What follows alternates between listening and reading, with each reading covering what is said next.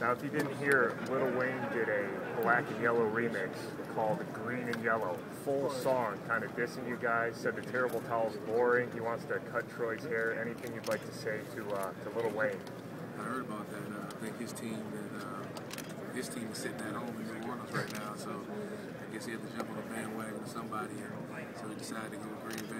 Wayne made a song, uh, came out earlier today called Green and Yellow, kind of a remix to Wiz Khalifa's Black and Yellow. Totally in support of the Packers. He says the terrible towel is boring. He wants to cut Troy's hair. Anything you want to say to Lil Wayne about uh, him choosing the Packers? No, Lil Wayne is a great, So- great rapper. Now you know I see certain. I love, I love his songs that he makes. Uh, but you, you can't be mad at Okay. if he likes uh, the Packers. Guess I'm That's just something he, he likes, and you know that's what you got to deal with. But I still listen to his music. I'm still listen to his music uh, pre-game, and before the game, after the game. You know, anytime. So it's all in fun, man. He, he's not trying to do it to disrespect anybody. Like uh, Lil Wayne made a Black and Yellow remix called Green and Yellow. Whole three-minute song, kind of dissing you guys in support of the Packers. Anything to say to Little Wayne in response? Uh, he's gonna have to. He's gonna be.